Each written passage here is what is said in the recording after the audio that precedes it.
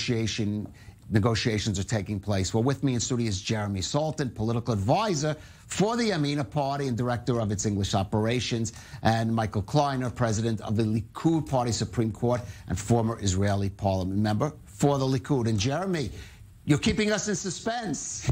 Uh, the Yamina list, I mean, uh, no one has more to gain than Naftali Bennett, slated to be the prime minister, replacing Benjamin Netanyahu. His signature is still not on that letter. Are we going to see uh, that signed and off to the president before midnight? I feel rather confident that we'll be able to go ahead and get to be where we need to be before midnight. And there's this thing in Israeli politics where until you have a deadline looming, you're not going to have those last few things worked out. Unfortunately, that's just the way we do business here in Israel. Uh, I, I, appreciate the irony of it. You know, there's a piece of paper that's about to make Naftali Bennett prime minister, and he's withholding his signature to make sure that we get all the things that we feel that we need for our constituents to make this a true national unity government, to make sure that we are able to maintain vetoes in all of the important areas, and to make sure that this will be a government that we also feel has all of the issues dealt with before we form it so that we're able to go ahead and have a more uh, uh, more harmony, we'll say, in terms of the first months after the formation of the government.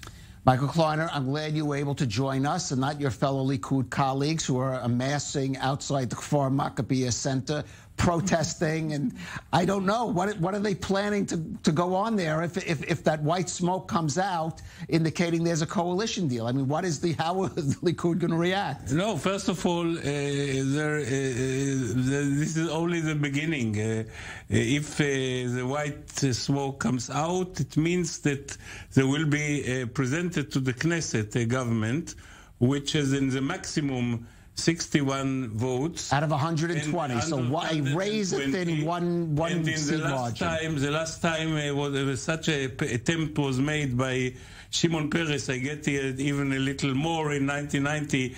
It ended up in a very a big fiasco. There was a member, Eliezer Mizrahi, who disappeared. And there was a member, Verdiger, who signed on the agreement, but it was with an ink that you can delete the ink. So after he signed, he signed, the, the ink disappeared.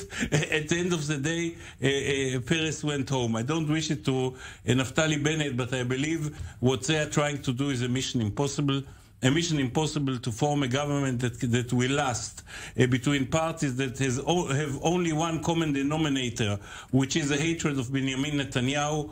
This is a glue, and the moment this government will be sworn in, if it will be sworn in, it, it will lose its uh, uh, raison d'etre because the glue will disappear. There will be no more Netanyahu, and then they will start to quarrel each other with each other. Everybody will have to show that he is uh, uh, serving his constituency uh, towards a very soon election. All right, uh, you don't wish it on Naftali Bennett. You met, you're one of the few in the Likud, I think, who's expressed that sentiment. But obviously, there's something for you to react to there, look, um, I remember it was 2015. It wasn't too long ago. It was the last time that Netanyahu was after, you know, able to have a normal government, if you will. he had 61 votes. So, so, again, that was not too long ago. Is Netanyahu himself 61, 61 votes they were, uh, on, on They were homogeneous. It's not the same. Well, I, I, I, think I that's remember, a, uh, maybe they were not as diverse as this group, but I, know, homogeneous is a bit of an exaggeration. I'm happy to refresh your memory because I remember that we had no idea if um, my neighbor uh, Tzachi Hanegbi was going to vote, if uh, my good friend Gilad Erdan was going to vote, and there was also the question of uh, Ayub Kara, who went to the um, to the tomb of uh, the prophet Jethro to get uh, some sort of sign but whether problem, he should no, vote I, for what I or said, not. What I said, sorry, uh, I, will be very short. The problems were personal. Ayub Kara wanted the portfolio. Uh, this one was insulted. Uh, there were not a, a, a, an ideological dispute. Here the problem is ideological. Marauna together with uh, Naftali Bennett, uh, the support of uh, Mansour Abbas together with Elkin it is uh, very hard to settle for a long I, time. So. I just don't. I, I I think what it comes down to is when you need 61 votes, every mo- every vote does matter. But I feel there is a lot of similarities if you're looking to 2015. I think just as Netanyahu was able to be able to manage those 61, where again I understand from even people close Right. to him, he didn't know. I mean, Benny Begin Jer- gives the, the famous thing where he didn't know he was a Jenny- uh, minister. Uh, Jeremy Saltan, Michael Kleiner, stay with us. Lot more to break.